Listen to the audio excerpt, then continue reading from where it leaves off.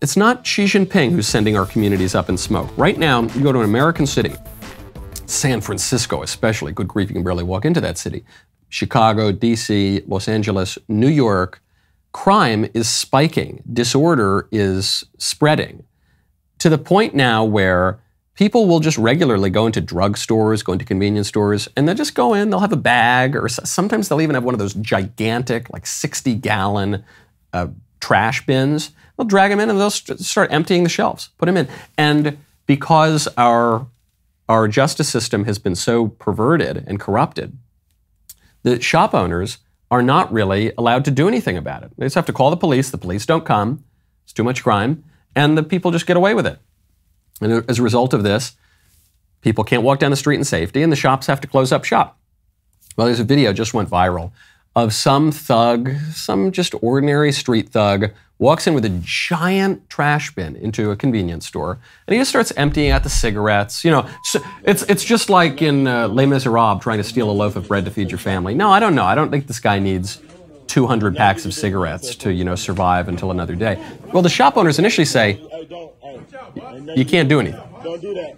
Don't do that, man. Don't do that. But then, no, there we go. Then, what looks like an immigrant comes over. As one of the guys holds holds the robber down, this, this immigrant comes over and just starts beating him with a stick. A broom handle or something.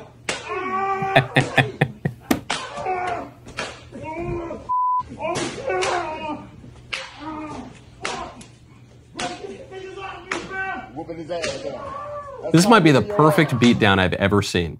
And it's the perfect beatdown I've ever seen because the guy didn't shoot him, didn't kill him, didn't stab him, he's not bleeding out or anything. And even the guy holding the stick, he's just not cracking the guy in the head, he's not giving a, him a concussion or brain damage. He's just he's just caning him on his legs and on his torso.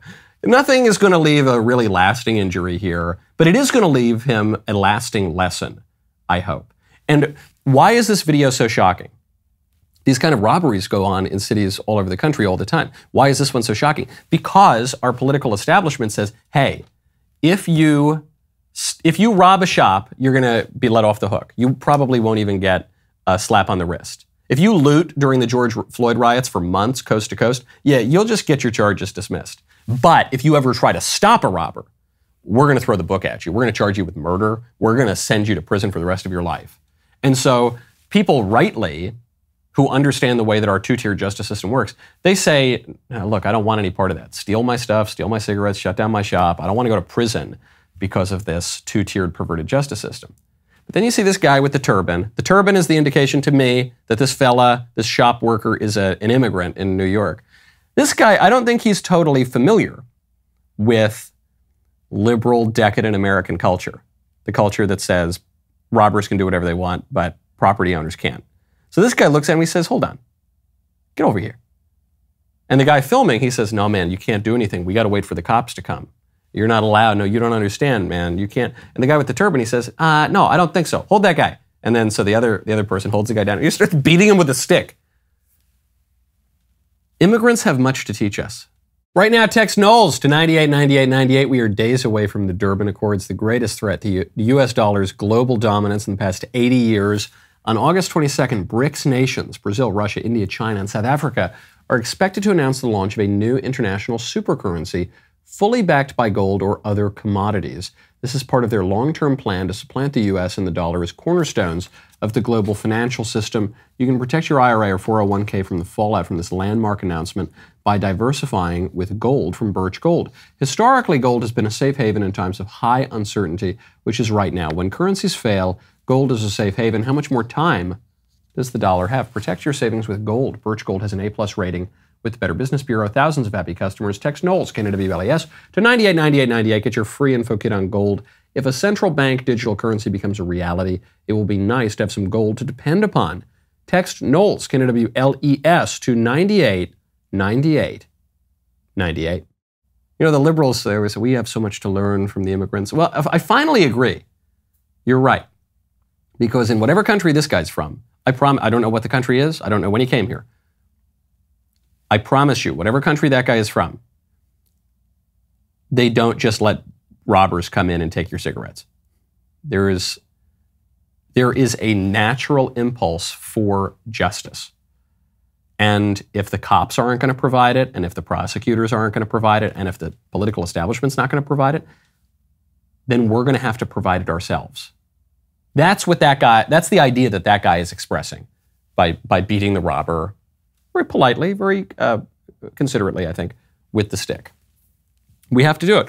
We live in a political order right now that forgot about justice. And so the, the issue runs a lot deeper than just letting some criminals go in and steal your, your packs of cigarettes. A political order that says there is no such thing as justice, there's no such thing as right and wrong beyond what we say it is. A political order that says that marriage isn't really what marriage is. Political order that says that men are not really men and women are not really women. A political order that says that up is down and black is white. And uh, that perversion of justice is going to spread everywhere. This is why in New York under Giuliani, probably the best mayor in the history of the city, New York they pursued broken windows policing. Broken windows policing said we're not only going to go after the toughest, not only are we not going to let the criminals off the hook, we're not only going to focus on the most egregious crimes, we're going to focus on the most minor crimes. We're going to focus on a broken window because when there's a broken window in your neighborhood, that's going to attract criminals like moths to a flame. They're going to say, "Oh, there's disorder here. Okay, we can wreak havoc." You've got to you've got to focus on that. This is why Giuliani went in. He didn't cl- clean up the nice neighborhoods. He cleaned up Times Square, which was a degenerate neighborhood. He turned Times Square into Disneyland, and he did it to send a message. This city is going to focus on justice. And once again, we were talking about this with Justin Trudeau. When, when disorder seeps in, it's like rayon in the air. You know, it just it just is it rayon or radon? One of them is made to make cheap T-shirts. One of them is a gas that poisons your family. I forget Wh- whichever one it is. It's in the air. It poisons you without you even recognizing it.